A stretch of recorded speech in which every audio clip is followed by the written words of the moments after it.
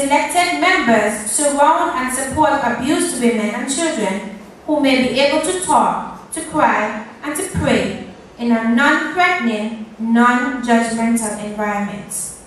Next. The Lord is the ultimate answer.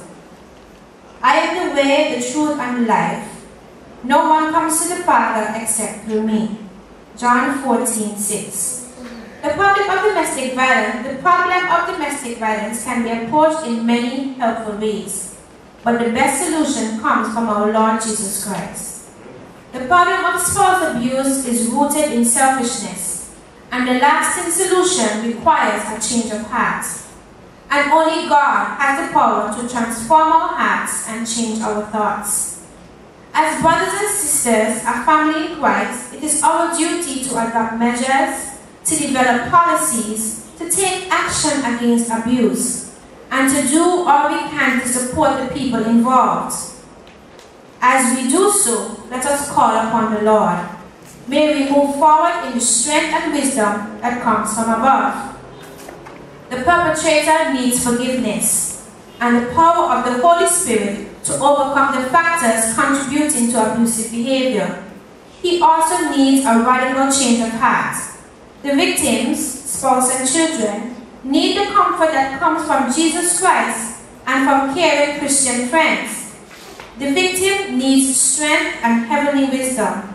The victim needs reassurance that he or she is not responsible for the abuser's behavior and not to feel guilty, and the need not to feel guilty. Lastly, he or she needs patience because solutions take time. Extended family, including church, including the church family, also need the outpouring of the Holy Spirit to become sensitive, unflinching, wise and caring in order to love and support and provide the practical and spiritual help needed. May God bless each of you, giving you the determination to act, the honesty to recognize this need, even within Christian families, and the wisdom to know how to support those suffering. May every church community be honest, supportive, and caring, and the caring place it is meant to be. Thank you. Amen.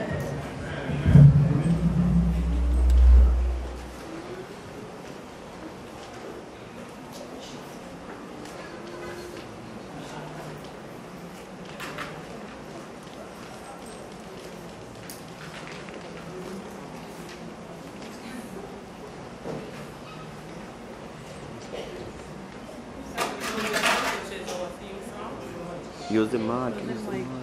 We have the closing, which is the theme song.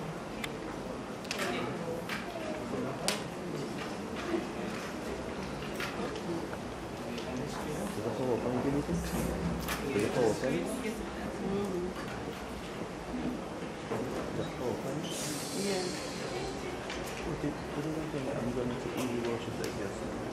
Remember, you, you didn't want to